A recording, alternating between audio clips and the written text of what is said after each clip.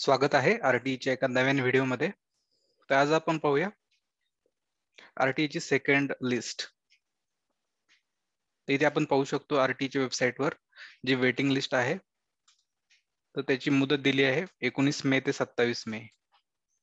तर ज्यांचं waiting लिस्टमधनं admission confirm झालं आहे त्यांनी एकोणीस ते सत्तावीस मे मध्ये आपल्या पाल्याचं ऍडमिशन कन्फर्म करायचं आहे. तर पुणे वगळून सर्व जिल्ह्यातील प्रतीक्षातील बालकांच्या पालकांना एकोणीस मे रोजी तीन वाजता एस एम एस पोर्टलवरून पाठवण्यात आलेला आहे. तर ज्यांना एस एम एस मिळाला नसेल त्यांनी या पोर्टलला लॉग इन करून आपल्या पाल्याच्या वेटिंग लिस्टची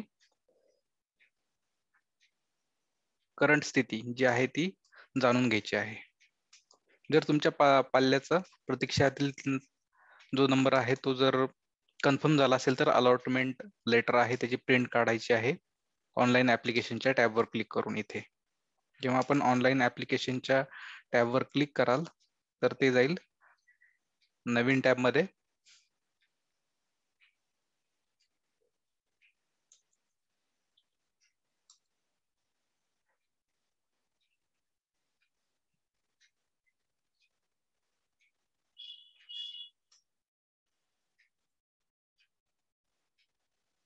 Mm.